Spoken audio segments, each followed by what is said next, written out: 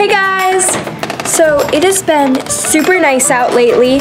We have been enjoying a lot of time outside.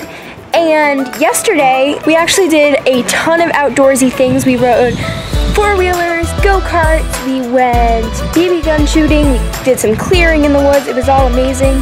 So we were like, why not do it again today and film it for you guys and make a whole outdoorsy episode of the Bardsley fam for you. The boys are actually riding the go-kart right now, so you can probably hear them riding around. On the go-kart!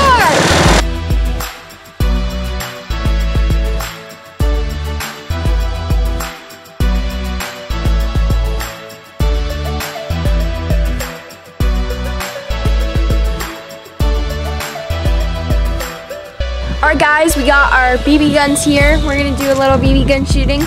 Um, we always want to be safe, of course, so we're to be wearing our uh, eye protection. Drew has his on. They do make you look a little weird, but um, it's worth it to be safe.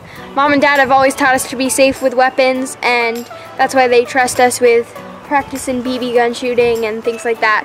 So that's what we're to be doing.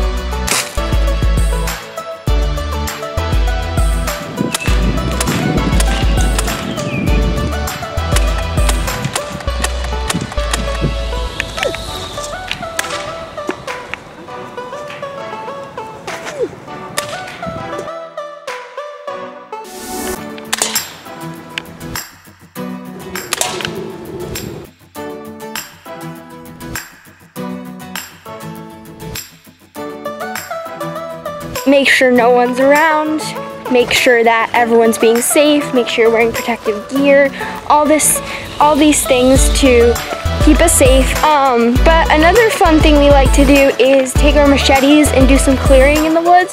And right now there's a whole bunch of skunk cabbage.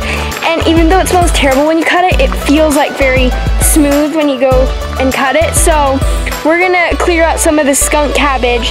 Also, if you guys wanna try things like this, make sure you have your parents' permission first so that no one gets hurt.